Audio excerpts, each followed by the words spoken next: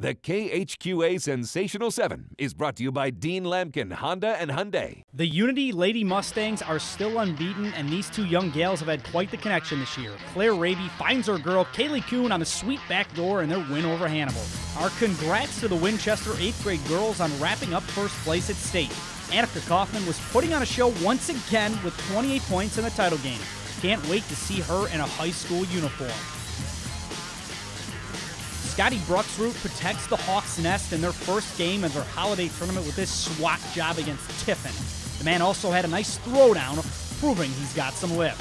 Gabe McKenzie, you are the man, sir. He dropped in another casual 38 performance against Unity this week. He also had seven steals on the night. Could he make it another Player of the Year honor for Canton two years in a row? Miss Mikaela Foecke, the Tri States, thank you for all your memories over the years.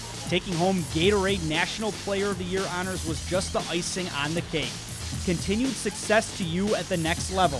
The Cornhuskers better be ready for you. Knox County, Shanna Elder is as quick as they come, and she's got some ups as well. How about the block show she brought against Scotland County? Not in the hot box, she says. Tanner Hocker is a good one for the Hounds of Fort Madison. The dude is diesel on the mat and showed it with this quick pin of 38 seconds on Saturday. You've got the honors this week, grabbing our sensational seven play of the week.